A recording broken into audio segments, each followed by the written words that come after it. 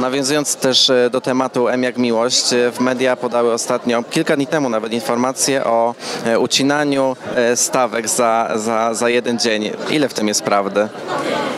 Jestem z, jakby bardzo ciekawa, skąd media mają takie wiadomości, zwłaszcza, że każdy kontrakt podpisany z aktorem jest tajemnicą handlową i zarówno nam nie wolno mówić, ile zarabiamy, tak samo produkcji nie wolno na ten temat e, nic mówić, więc wydaje mi się, że takie wiadomości można wyrzucić do kosza na śmieci.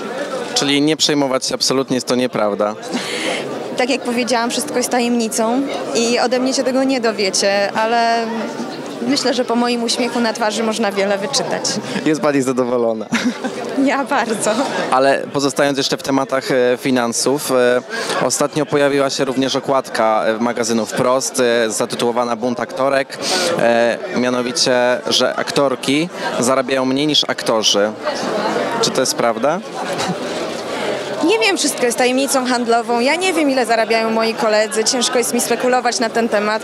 Ja jestem zadowolona ze swoich zarobków i e, z mojej jakby pozycji zawodowej, przynajmniej w serialu, więc nie wiem, czy można Są więcej. podawane kwoty, że różnica to jest nawet e, 2000 e, za dzień. Ja tego nie wiem.